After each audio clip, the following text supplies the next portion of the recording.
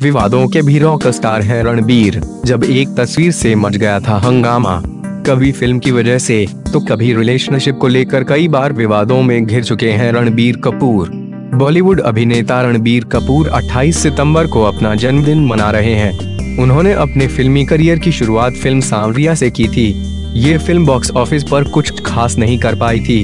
इसके बाद फ़िल्मों से ज़्यादा रणबीर अपने अफेयर को लेकर चर्चा में रहे। इतना ही नहीं कई बार फ़िल्मों से इतर वो सुर्खियाँ में आए खुद से जुड़े विवादों के कारण। कॉफ़ी विद करण में सोनम ने रणबीर को लेकर एक ऐसी बात कह दी थी जो काफ़ी समय तक चर्चा का विषय रही।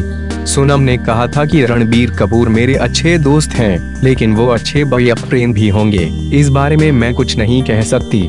सोनम के इस बयान पर कई तरह के कयास लगाए गए थे।